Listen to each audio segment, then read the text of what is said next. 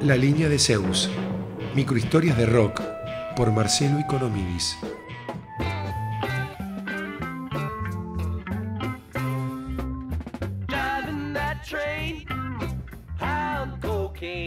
The Grateful Dead. Banda de folk rock e improvisaciones emblemática de la década del 70, liderada por el barbado Jerry García. tiene sobre su historia un pesado misterio. Desde sus orígenes en 1965, el tecladista fue Ron McKernan. quien abandona la banda porque muere en 1973.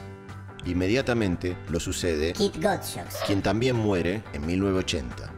Lo reemplaza Brent Maitland. que en julio de 1990 muere. Llega entonces Vince Belnick. quien oficia de tecladista hasta 1996 y que posteriormente muere.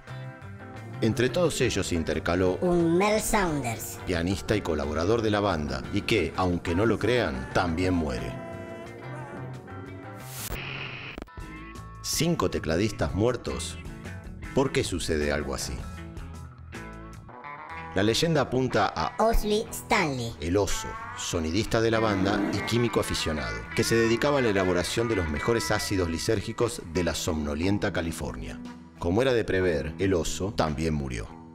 Se sostiene que Stanley acopiaba importantes cantidades de ácido en los teclados para trasladar en los viajes y largas giras de la banda. La tesis indica que la electrónica de los instrumentos provocaba, a través de un proceso llamado catálisis, imperceptibles nubes de ácido que, recital tras recital, iban siendo inhaladas por los músicos.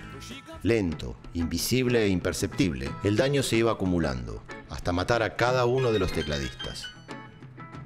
¿Acaso esta leyenda solo encuentra una explicación racional que tenga certeza ante la angustia que provoca la incertidumbre y la caprichosa fatalidad del destino? Nunca lo sabremos.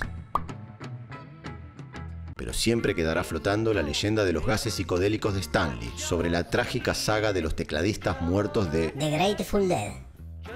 behind. And no, that notion just crossed my mind.